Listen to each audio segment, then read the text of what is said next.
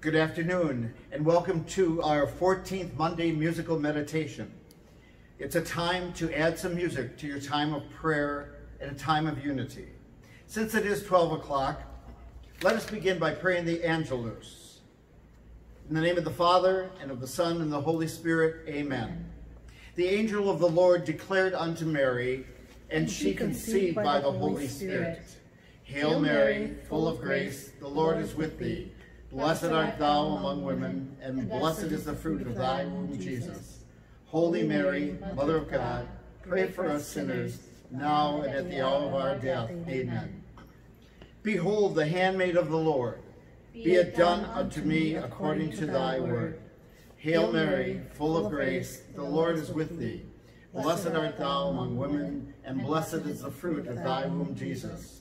Holy Mary, Mother of God, pray for us sinners, now and at the hour of our death. Amen.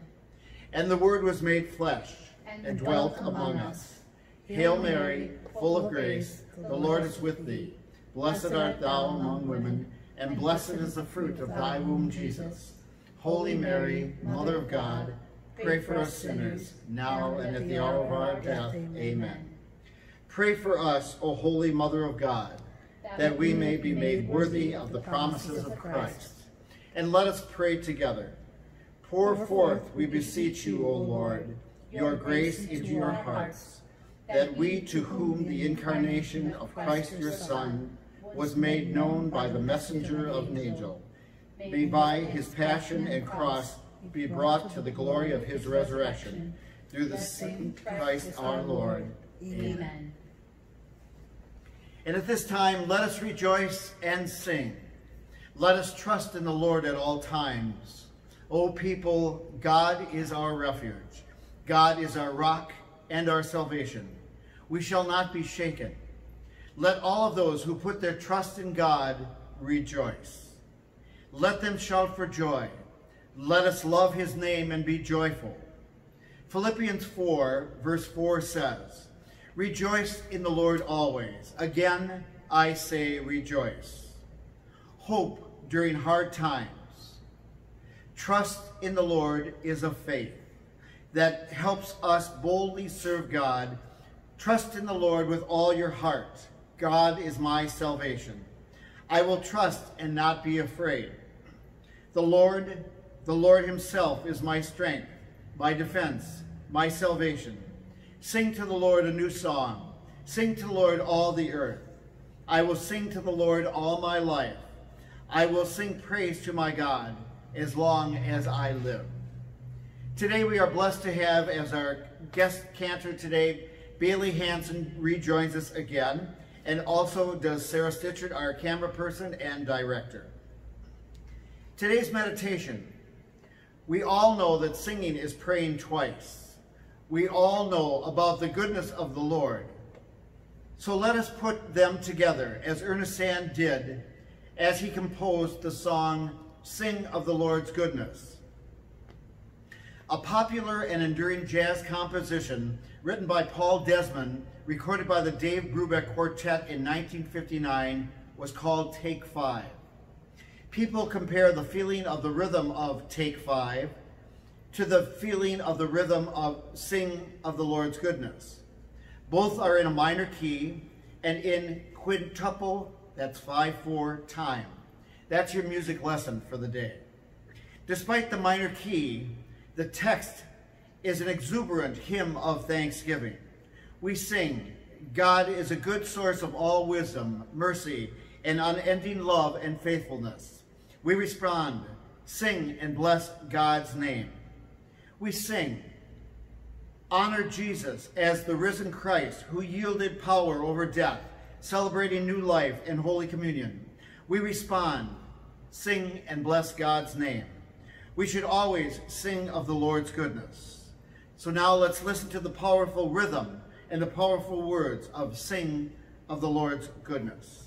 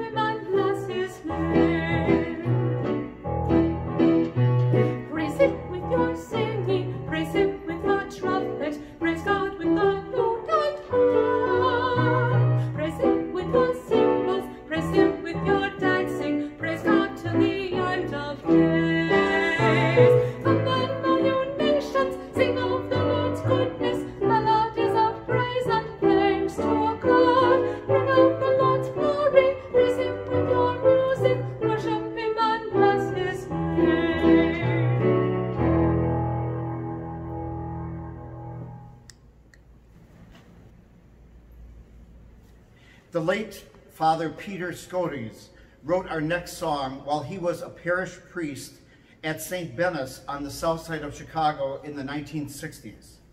At the time, he was leading a youth choir out of the church basement, and he was looking for an appropriate song for an ecumenical interracial event. When he could not find such a song, he wrote this one called They'll Know We Are Christians by Our Love. Today, it is important that we sing, they'll know we are Christians by our love, because it is a piece in the church efforts to get people to participate in singing and also in promoting discipleship. Now listen to They'll Know We Are Christians.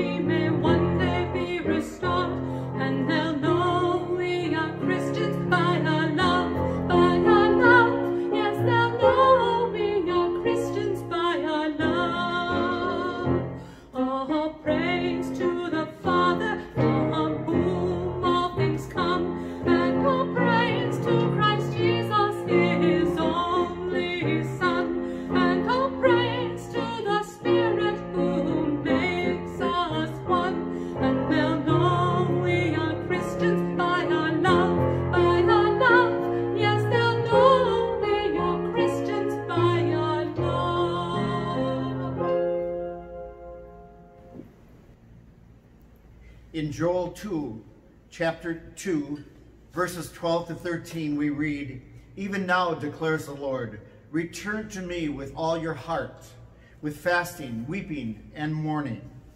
Rend your heart and not your garments. Return to the Lord your God, for he is gracious and compassionate, slow to anger and abounding in love, and he relents from sending calamity.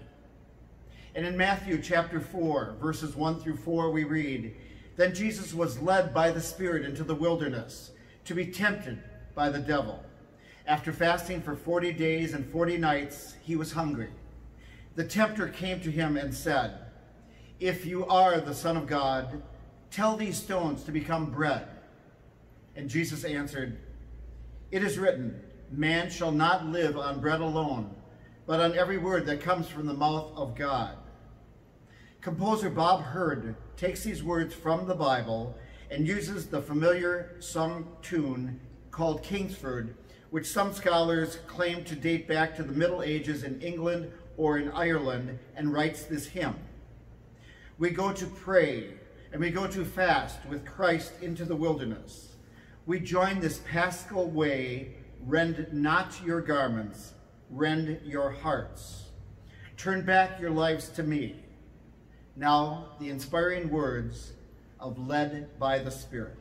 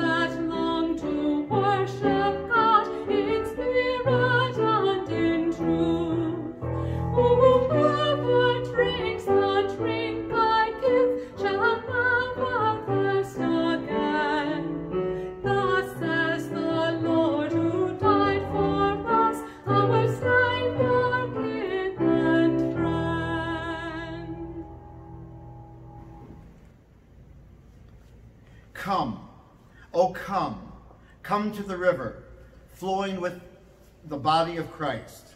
We'll go down deep in the water, but in the Lord we shall arise. Arise, shine, for your light has come, and the glory of the Lord rises upon you. In John 4, verse 14, we read, But whoever drinks of the water that I shall give him shall never thirst. But the water I shall give him shall be in him a well of water, springing up to everlasting light. Again, composer Bob Hurd, who composed the Mass of Glory, added a song for the sprinkling rite, which endorses this positive message. We'll go down deep in the water, but in the Lord we shall arise. Here is Come to the River.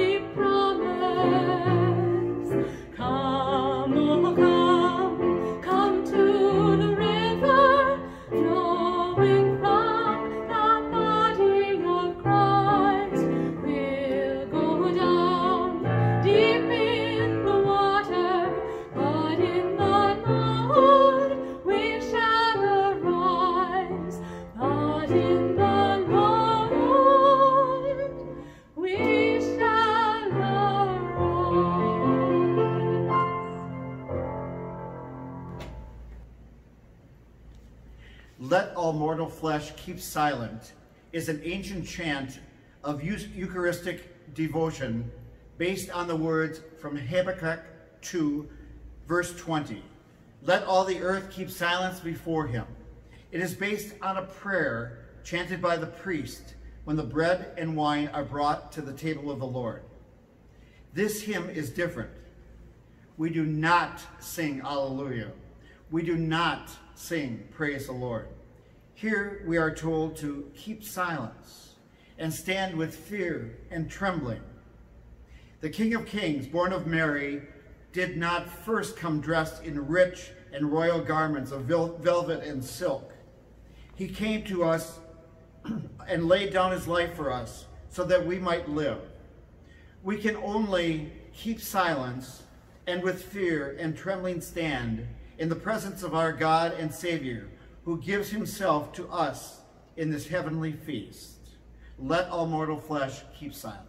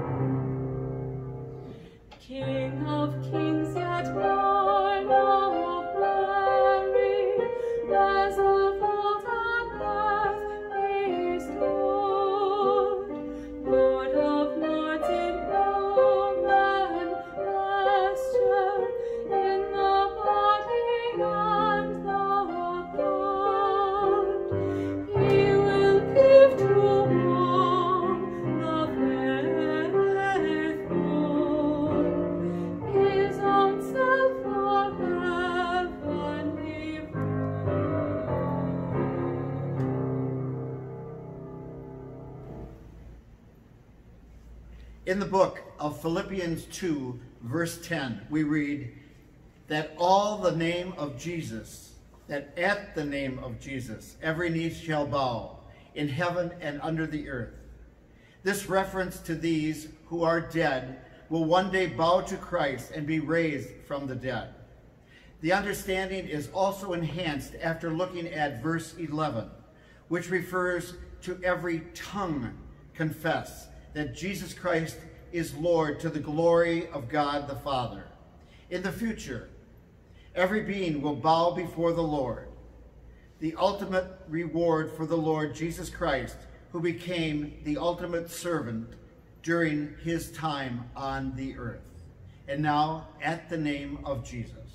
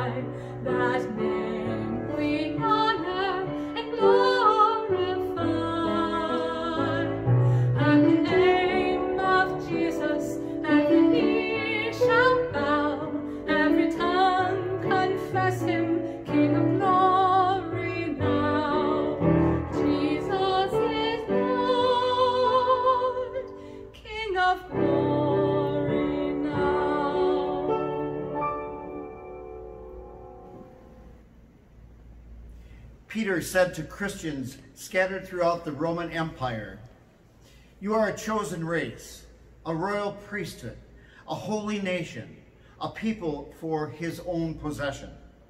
In Deuteronomy chapter 7, verses 6 through 8, we read, The Lord your God has chosen you to be a people for his treasured possession.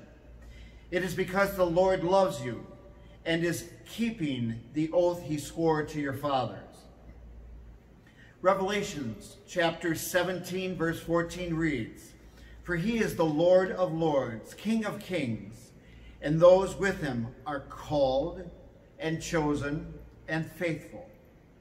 In 1957, Bernadette Farrell wrote this song, God Has Chosen Me. Now Bailey will sing the hymn, and as she sings the hymn, remember, you are the chosen ones.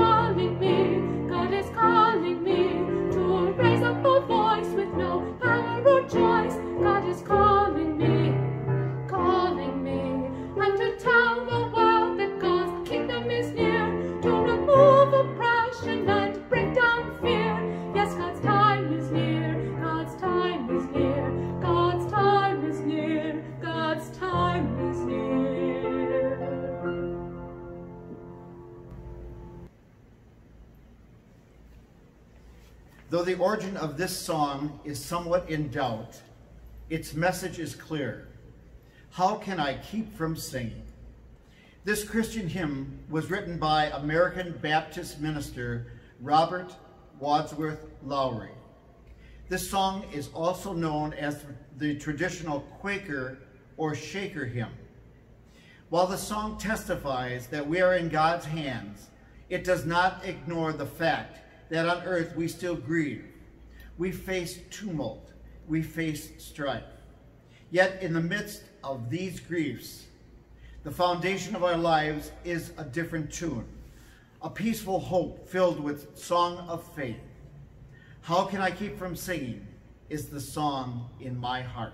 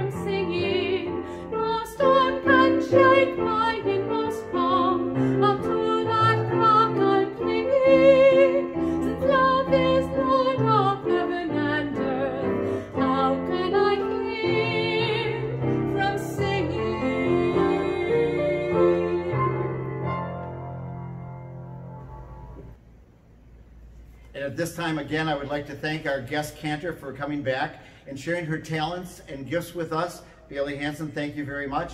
And also special thanks to Sarah Stitchard, our photographer and producer. And don't forget, every Monday at noon, we will publish our half an hour of Monday musical meditation for your musical entertainment. Now let us pray in the name of the Father, and the Son, and the Holy Spirit. Amen. God, you are my confidence and my blessed assurance. You are my rock of my salvation and my strength of my life. My hope rests in you, for you are my faithful. Shepherd us and the song that rejoices my heart. Be full of hope. Hope is forever. For God does not fail you. We know that God loves you during the midst of this pandemic. God's love is true to you now, as it was in your brightest moments. Rejoice even when passing through this furnace. Make the wilderness bloom like a rose. Cause the desert to ring with your exulting joy, for these light afflictions will soon be over. And God, at this special time of our lives, we pray that you remind us to pray for those who are causing frustrations, not to be angry with them. Help me to put the needs of others before my own. I pray that we'll use your church and our voices to advance your kingdom and to be examples of your great love. In the name of the Father, and of the Son, and the Holy Spirit, amen. Amen.